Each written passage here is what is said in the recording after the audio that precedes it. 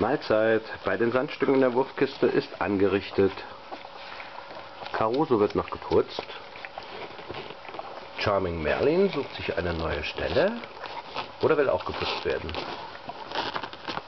Carlotta hat die Zitze gleich gefunden. Ja, sie trinkt gut.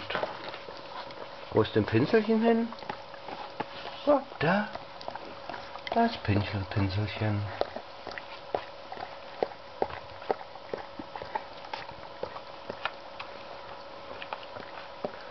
Guten Appetit!